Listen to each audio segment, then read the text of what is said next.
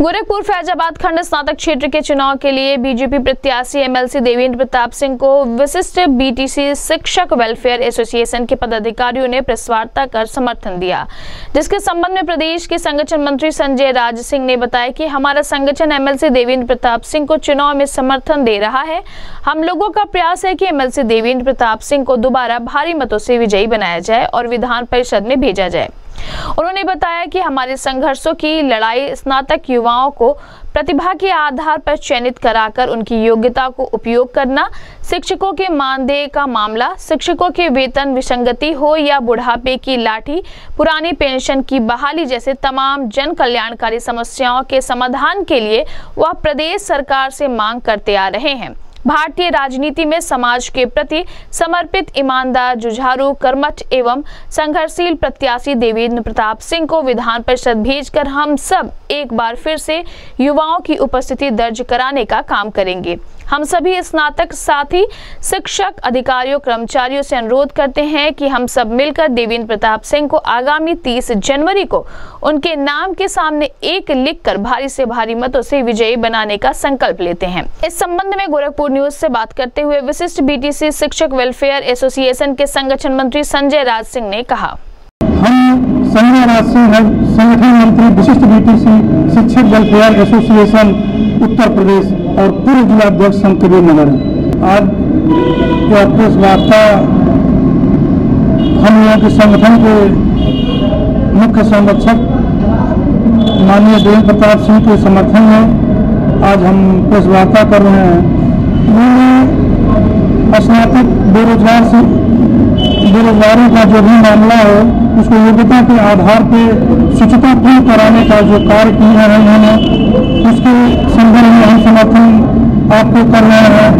पुरानी पेंशन बहाली के संदर्भ में जो शिक्षकों की सबसे बड़ी समस्या है, इस समस्या को लेकर वह सभी निखर रहे हैं। इस बिल को जो है, हम समर्थन कर रहे हैं। तदर्थ शिक्षकों के मानदेय का मामला जो है, कई बार माननीय एम जी जो विधान परिषद में उठा चुके हैं, इस संदर्भ में लेके जो है, हम आपको समर्थन कर रहे हैं। और वेतन विसंगति जो है, उसको लेकर उन्होंने सरकार से सवाल जवाब किया और हमारे हक की बात उन्होंने उच्च सदन में पहुँचाने का काम किया है। इस मुद्दे को लेकर हम समर्थन कर रहे हैं। और सबसे महत्वपूर्ण जो बिंदु है शिक्षक निर्वाचन क्षेत्र, जो क्षेत्र होता है, उसमें हमें वोट देने का अधिकार सुनिश्चित कराया जाए। माननीय निर्वाचन आयोग के द्वारा, आपके द्वारा हम लोग जो है, चुनाव आयोग से सिफारिश करते हैं कि शिक्षकों को भी शिक्षक निर्वाचन क्षेत्र में बेसिक शिक्षकों को वोट देने का अधिकार दिया जाए।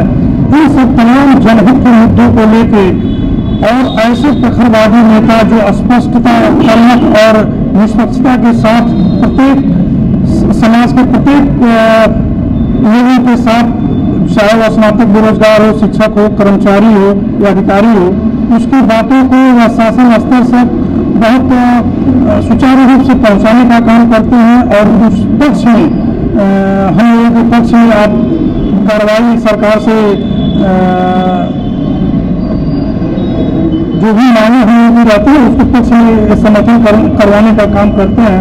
इन सब बिंदुओं को लेकर हम लोग माननीय देव प्रताप सिंह जी को समर्थन कर रहे हैं। और सबसे अनुरोध करते हैं कि आगामी तीस तारीख को उनके, जिनका जहाँ नाम हो जिस बूथ पे वह अपने बूथ पे जाएँ और इनके नाम के सामने एक लिख के इनको भारी से भारी मतों से विजयी बना के और पुनः विधान परिषद में भेजने का काम करें।